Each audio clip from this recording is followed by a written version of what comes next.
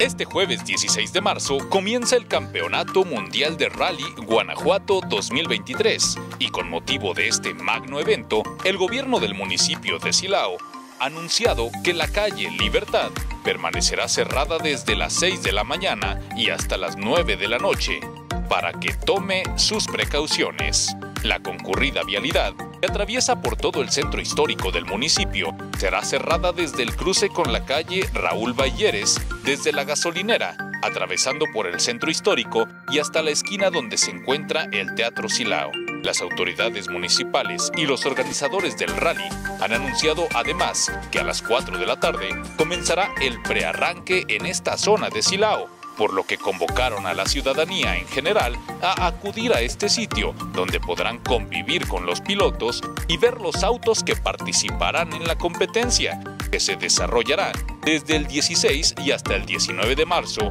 en los caminos de Guanajuato. Así que ya lo sabe, si usted vive en Silao o tiene pensado visitar la ciudad este jueves, tome sus precauciones porque el caos vial en la zona centro del municipio será bastante considerable. Para el sistema de noticias de TV Libertad, con imágenes de Diego García, Héctor Almaguer.